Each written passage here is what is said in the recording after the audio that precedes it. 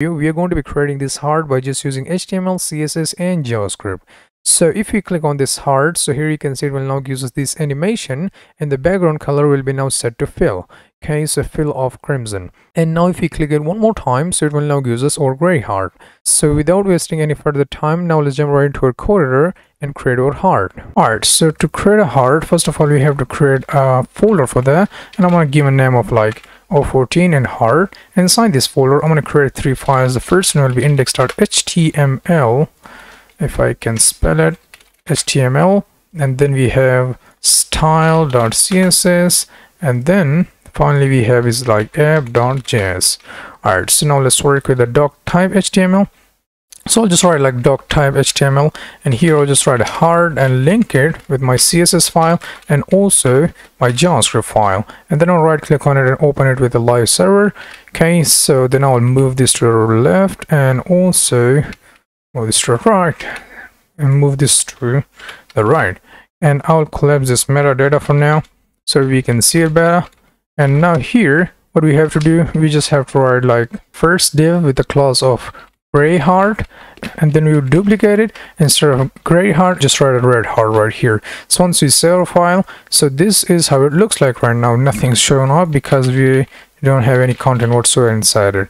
Okay? So if i undo it so this is our gray heart and then we have a red heart right here. So now let's jump right into a css and now let's work with the styling. So the first thing I'll do is I'll just remove that padding and margin and first of all let me just write a box sizing border box then margin will be zero and padding will be also zero. Okay so save everything is perfectly working then we have to declare our variable right here. So i'll just give a name of like uh, main color and it will be this pound symbol and then dc143 and then c okay so this is our red heart color right now. So we are going to be using that. That's why i give a name of like main color. And then the next thing which you have to do is to select our body and then display flex because we want everything to be center. Justify corner will be also center. Align items will be center. And we have to give a height of 100 vh and then the background color will be just rgb and then we have a 7 comma 7 and then 20 save our file. And this is our bluish kind of color right here and everything will be perfectly center once we just write our content in it and then let's dive into the first thing which is a gray heart. Okay so i'll just select my gray heart right now and then i'm gonna give him a background color of totally gray like ccc display will be flex right now and then we have a justify content of center align items of center height will be 100 pixel and width will be also 100 pixel okay? And then we have to do we have to just write a position relative to it because you are going to be writing um, because you are going to be writing a before and after selector so that's why we are using a relative position and top will be zero and transform will be just like um, minus 45 degree 45 DEG okay so transform or rotate will be 45 degree. All right so here you can see now we get this kind of shape right here because we are rotating our heart. So if you comment this line out so here you can see we have this perfect rectangle right here. And if we uncomment it and save it and now here you can see we have this kind of shape right here. Alright, so this is about a gray heart. So now let's work with the before and after selectors. So I'll just write like gray heart and then I'll select my before and then comma then gray heart one more time and then after okay? So select both of them then the, as a content I'll provide nothing and background color will be totally gray. And then border radius will be 50 percent and then height will be 100 uh, pixel and width will be also 100 pixel okay and then we just have to provide a position absolute to that because we want this shape to be inside this relative position right here okay? So this is about a before and after selector. So let's suppose we change the color to like something else like uh, i don't know 000 or 999 would be fine. So here you can see we have this circle right here because we provide a um, border radius of 50 pixel. So that's why we are getting this circle right here inside the other shape okay? So uh, let me change the color to CCC one more time and this is now looking good. Then we have to jump right into the each of them like first of all let me select this gray heart and then we have to work with the before. And now let's change the top value to like minus 50 pixel and the left to 0. save file and now we get our first um, portion of the heart and now let's duplicate it. And now let's work with a after. Save it and instead of minus 50 i'll just write a 50 so here you can see we get our pill kind of shape right here and it should be at the top. And by the way this should be a left save it and now here you can see we get our perfect heart right here okay? So this is quite simple and easy. So now let's work with our uh, red heart. So i'll just comment out right here and then red heart. So the first thing that you have to do is to just write our red heart right here and the background color will be that var which we declare like main color. And then we have a display of flex and we have a justify content of center because we want everything to be at center. So align item will be also center height will be 100 pixel and width will be also 100 pixel. And position absolute because the first this one was position relative where are you? So now we want this red heart to be inside that position relative. So that's why we are providing a position absolute to it so once we save file so this is what we get. So here you can see we now get our shape right here. So all of the properties and the values will be the same like this one. So we have to just do a little bit of changing in there. So the next thing which you have to do is to just write a red heart and then we have to select our before comma red heart and then after. Okay so now we select both of them then we have to just provide a content and background color will be totally their main color which we just declare up above. And then border radius will be 50 percent and width will be 100 pixel and height will be also 100 pixel. And then position will be totally absolute. So once we save it that is going to happen right now because we have to just select each of them. So red heart and then first of all we have a before and then we have to just provide as a top value of minus 50 pixel then duplicate it and let's change the value of left to just zero and save it. Okay so this is our pill kind of shape right now. And now let's duplicate this line of code and then instead of before i'll change this to after. Instead of top i'm gonna just change this to left. And instead of minus i'm gonna change this to like just 50 and instead of left i'm gonna change this one to top. Save it. And this is looking a bit awful. So we forgot to include the rotation from like minus 45 to just 45 where is it? Or red heart. So here we have it.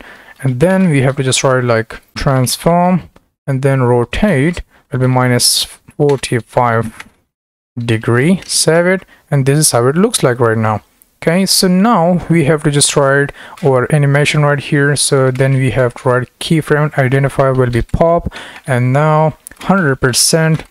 So we want the transform to just uh, scale um 1.7 percent and then rotate to minus 45 degree.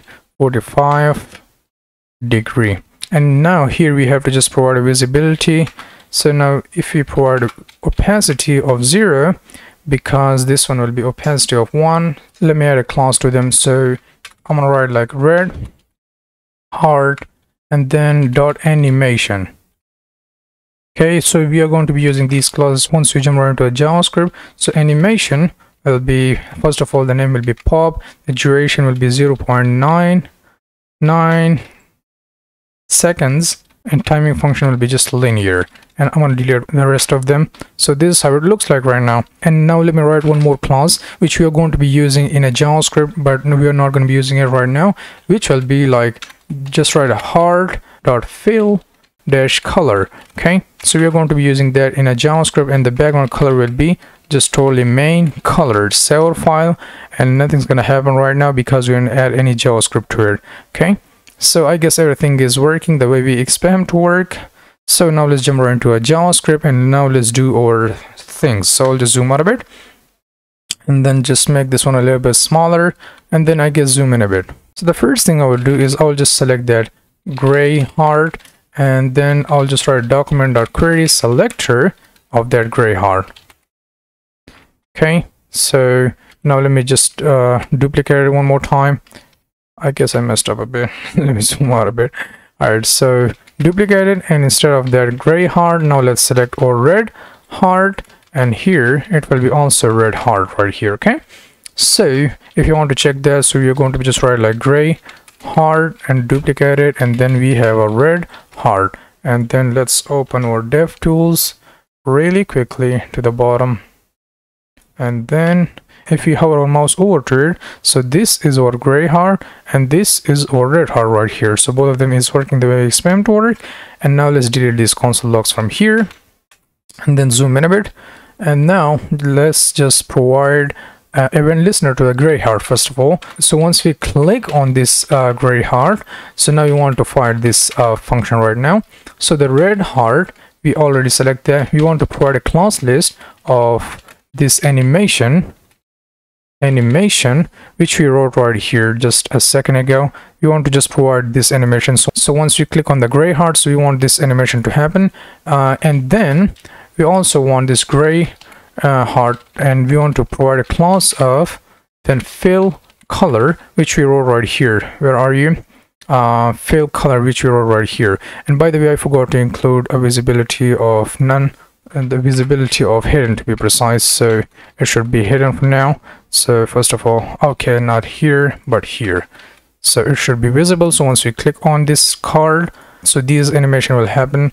Did I just uh yeah I did select that. Click on that. Nothing's gonna happen. I don't know why.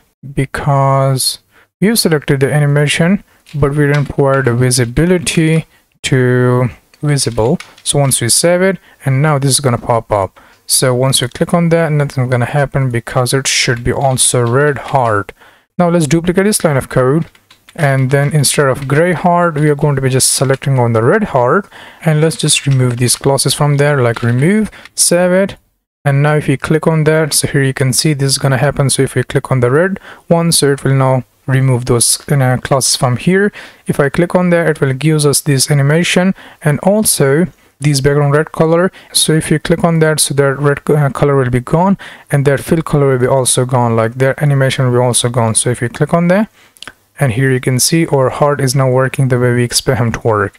And I apologize about the mistakes because this video isn't scripted so this is gonna happen. So now let me refresh that. If you click on the gray heart so this heart animation will gonna happen and if you click on the red heart so it will give us this gray heart right here okay so now if you guys don't know about Git and GitHub, so jump right into the next video. And if you guys do know about Git and GitHub and want to push your code into your GitHub repository, so then join me. I'm going to just push my code into my GitHub repository. So I'll just use like git add and not git add, but first of all git status. And then I'm going to just use git add and then everything. And now git commit dash m um, heart project and now if I hit enter then git push origin main. And hit enter. And it will now push our code into our github repository. And now if you refresh. So it will give us this heart right here. If you click on that here is our javascript code. And here is our html code. And here is our css code right here. So i guess that was it about today's video and i'll see you in the next video. Bye bye